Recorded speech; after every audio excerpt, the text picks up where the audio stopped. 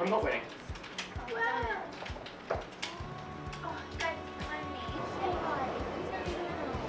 Yeah, weblog there's been quite a lot of high profile news Yeah. about that recently. Yeah. So where does that decision? It's good to have yes in the conversation. Really makes it My name's Tom Wrigglesworth and I'm a work inspiration student. This opportunity gave me lots of experience in many different areas, from drawing ideas together as a team to writing those ideas into a presentation Hi Australia! My name is Anjali Kumar and I, along with my twin sister, Tina, say hello. We recently met Sir Michael Rake at World Skills, London. We cheekily went up to him and asked him if we could shadow him for a day. We followed him up and are here today to interview him about work inspiration in Australia.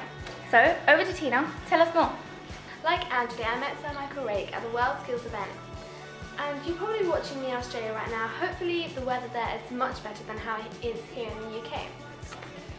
As a project director, Mig of Work Inspiration is going over to Australia next week. We thought, why not ask Mike Rake that why should big businesses in Australia adopt the Work Inspiration initiative? So let's go and see.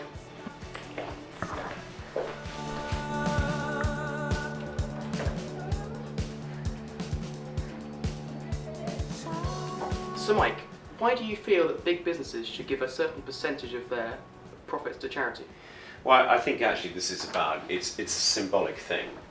I think for many years now, you know, from the time many many years ago, the Brixton riots, more than 25 years ago, business in this country realised that there was a business interest in really ensuring their communities worked, and it came back to something that was said in a healthy back streets, healthy high streets. And I think business realised then, far-sighted businesses realised that you had to do something more than just make profits. You had to invest in your community. You had to create opportunities for young people. You had to invest. If that was true 25 years ago, it's dramatically true today. And if we look at the current economic situation where we have serious levels of unemployment, youth unemployment, where we have, you know, an emerging divide between the have and the haves not, that's going to get worse in the next two to three years, whatever happens, I think it's critically important that business plays its part.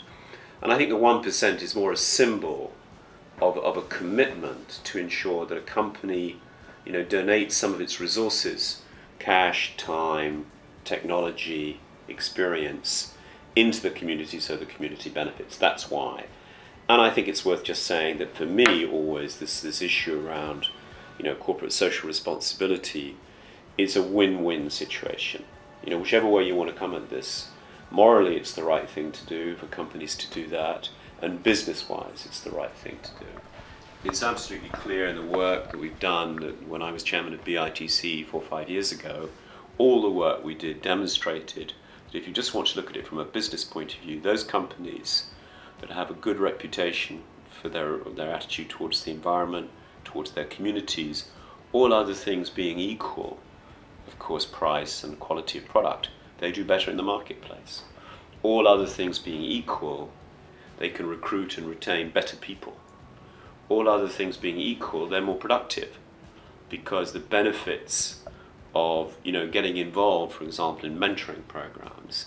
You know, when I was at KPMG, we did a huge amount of mentoring, and you quickly realise whether that's head teachers in parts of London, you know, with huge pupil staff ratios, with large numbers of people not speaking English, you know, what you realise very quickly is what the head teachers have to do, and for the people who are doing the mentoring, there is they learn more than the people being mentored. So, you know, in summary, this is something that's symbolic of what's important, and it's good for the companies, good for its employees, good for communities, and it really works. And I think the problems we see in the world today, where the young people no longer have credibility in any of the institutions, they don't believe in politicians, don't believe in banks, they don't believe in newspapers, you know, that, that we have to re-establish trust by the younger generation in business, which business is the only thing that can deal with the issues around jobs and employment and investment. Thank you. It's a bit of a long answer. No, no, but that's, that's exactly what we're looking for. Thank you. So, why should big businesses help young people and work experience? Yeah, I mean, I, I think this is a really, really important issue. Um, you know, until last year, I was chairman of the Commission for Employment and Skills, and even before this current crisis, going back in 2008 9, we were becoming seriously worried by what we were seeing in terms of youth unemployment. Uh, you're beginning to see the statistics of youth unemployment in the UK, in the United States, head towards 20%. Beginning to see youth unemployment in Spain at 40%, youth unemployment in the Middle East at 50%. And at that time, we were getting increasingly concerned that that would lead, as it has led to, the core, not the only issue, around the issues we've seen in the Arab Spring is disenfranchisement and poverty and lack of work opportunity. So it's, it's really a worry. And I think also the statistics in the UK that we've done show that if people are unemployed for a year, they're very, un, very difficult to get employed. You know, and that is like a cancer of society if you don't give young people the opportunity to work. And that's why we really tried, you know, we did some work between the Commission actually and the business and the community to try and set up that work inspiration program when 2008-9 when the downturn occurred. We really tried to convince companies which most were convinced very easily that we need to have, find a way to at least give people work experience because then you create a much greater opportunity for them to be employable because they see that people have worked with XYZ company or whatever, they've got experience of work. And employers are very concerned, you know, in the UK specifically, around you know the, the, poor quality of education in many parts of the country. So a lack of basic skills of literacy, numeracy, which is important and an important part of this, but also just employability skills. You know, you know what it is to turn up, to be motivated, to be, to communicate, to you know be positive um, in whatever it is you do. So I, I think this work experience program is incredibly important and we at BT in a modest way, I mean, we've opened up, I think, 4,000 opportunities for people to come and have work experience. We're trying to offer as many apprenticeship opportunities as we can. Unfortunately, they're still quite limited relative to the demand, but we're trying to do that. And we think it's very, very important that everybody who can do this provides some practical work experience, which I think will really, you know, um, make it easier for people to, to get work. And, and as the economy, as it will do, improves, and as companies begin to you know invest again, I think that will be of huge benefit to the people who, who've done the, the work experience program. And you've done one of these programs. Um, yes. And, uh, you, it's you, fantastic. Yeah, it is. It, it, works brilliantly. I mean, yeah. I got a lot out of it, and I've Good. spoken to lots of other students as well, and I've heard, Yeah. heard very similar things. So Yeah. Definitely vouch for that. And I think it's for everyone. And you know, we've we've talked about it before. Is maybe what we've got to do is, you know, people at college or university or wherever doing something in their holidays. But it's more than that. We need to reach out to people who've been unable to get jobs when they've left college or school. Uh, we need to reach out to communities where people come from, you know, more from broken families or you, you know socially deprived areas where sometimes it's very difficult. You know, so we, we've got to sort of find ways to reach out and give opportunities to people to get a chance to get work experience. You know, that's what we've got to try and do. And sharing it, I mean, is a, it's an interesting statistic. There, um, be, because big companies we can help, if you will, because we, we have the capability to provide those opportunities. But real growth in employment is going to come from small and medium-sized enterprises, and it's quite interesting. There are 27 million SMEs in the European Union. 27 million if every one of them just hired one person, you do completely away with all the unemployment and youth issues across the whole of Europe.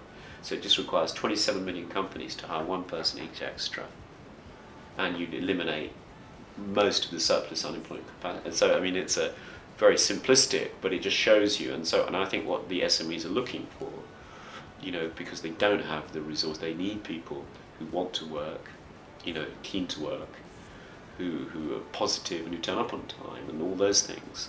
And sometimes that's missing in some parts of the country and for some people, so that's why I think it's uh, so important and hopefully, you know, so valuable.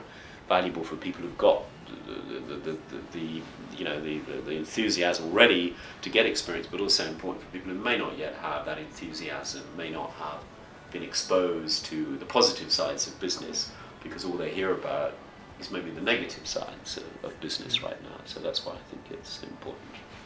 Thank you. Um, you talk about it gives a sense of morality to the companies, Yeah. etc., and things like that.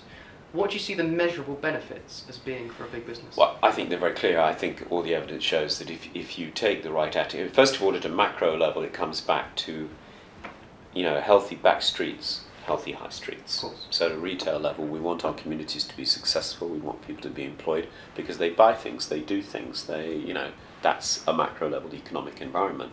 Having the opposite end of the scale, if you have deprived areas, you're just going to get crime and instability and other problems. So that's at, a, at an individual company level.